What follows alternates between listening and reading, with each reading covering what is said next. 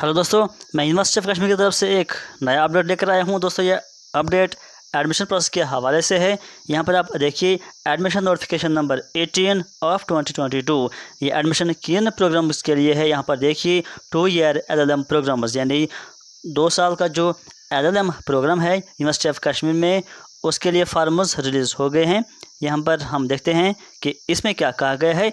Online application are invited from eligible candidates for admission to two year L L program for the academic session twenty twenty two at main campus university of Kashmir admission to the program shall be governed by the policy available on university website and relevant statutes governing the program dates की बात करेंगे। यहाँ पर देखिए issuance of online application form twenty अगस्त से farmers शुरू हो गए हैं और लास्ट डेट क्या रहेगा? लास्ट डेट रहेगा तीन सितंबर तक, याद रहे।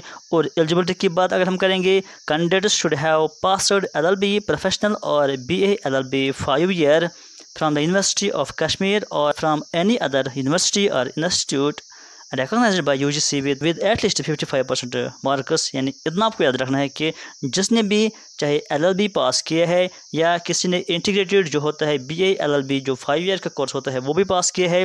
और चाहे वो इनमें से कोई भी डिग्री आपने यूनिवर्सिटी ऑफ़ कश्मीर से पास की है या किसी और इंस्टीट्यूट या यूनिवर्सिटी से जो कि यूजीसी से एफिलेटेड है लेकिन इतना आपको याद रखना है कि कम से कम फिफ्टी फाइव परसेंट मार्क्स होना चाहिए। अगर आप ओपन मेरिट से बिलोंग करते हैं या अगर आप किसी कैटेगरी से बिलोंग करते हैं तो आपको कम से कम फिफ्टी परसेंट मार्क्स होना चाहिए उस एलएलबी में या अगर आपके पास L L B L L B है, जो भी आपके पास है, उसमें कम से कम ये क्राइटेरिया पूरा होना चाहिए, तब आप अप्लाई कर सकते हैं। इसके लिए एडमिशन क्राइटेरिया किस बिना पर एडमिशन हो जाएगा?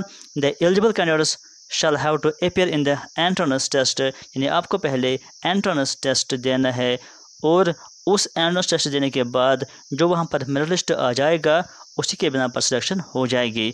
तो अब यहाँ पर हम बात करेंगे कि कैसे आपको अप्लाई कर देना है। इस पर मैंने पहले ही बहुत सारे वीडियोस बना दिए हैं कि कैसे आपको अप्लाई करना है, कैसे आप एंट्रेंस फार्म भर देंगे। इस पर अलग से वीडियोस बने हुए हैं, लेकिन फिर भी मैं यहाँ पर आपको मैं मैं चीज़ें बता दूँगा। सबसे पहले आपको इस वेबसाइट पर जाना है।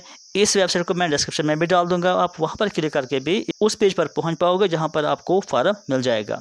इस वेबसाइट पर जब आप क्लिक करेंगे तो वहाँ पर आपके पास बहुत सारे ऑप्शंस आ जाएँगे। उनमें से आपको चूज़ करना है एडमिशन जब आप एडमिशन चूज़ करेंगे वहाँ पर तो वहाँ पर आपके पास ऑप्शन आएगा कि आपको फिल करना है वहाँ पर रजिस्ट्रेशन नंबर आपको नेक्स्ट पर क्लिक करना है। नेक्स्ट पर क्लिक करने के बाद आपको अपने डिटेल्स, उसके साथ साथ आपका फ़ोटोग्राफ भी अपलोड कर देना है। उसके उसके बाद आपको नेक्स्ट पर फिर से क्लिक कर देना है। वहाँ पर आपको ये सारा फॉर्म आपके सामने आ जाएगा, जहाँ पर आप उसको रीड कर पाएँगे। अगर आपको लगता है कि कहीं पर कोई चेंज करनी है तो प्रीवियस पर क्लिक कर दीजिए। अगर पूरा क्लियर है तो सबमिट पर क्लिक कर दीजिए तो आपका फॉर्म सबमिट हो जाएगा। उसके बाद आपको ऑप्शन आएगा ऑनलाइन फ़ीस पे करने का। तो आपको ऑनलाइन फ़ीस पे करना है साढ़े सात सौ रुपये, जिसमें पाँच सौ रुपये एंट्रेंस फ़ीस होता है और ढाई सौ रुपये एप्लीकेशन फ़ीस होता है। तो टोटली बन जाता है साढ़े सात सौ। उसके बाद यहाँ पर बात की गई है सबमिशन ऑफ़ डाउनलोडेड कि क्या डाउनलोड फार्म कि क्या डाउनलोड फार्म सबमिट करना है या नहीं करना है। यहाँ पर साफ़ लिखा है कि जब आप ऑनलाइन फार्म सबमिट करेंगे तो आपको कोई भी ज़रूरत नहीं है। Need not to submit the hard copy कहीं पर भी आपको हार्ड कापी सबमिट नहीं करनी है, लेकिन अपने पास आपको रखनी है फर्दर प्रोसेस के लिए।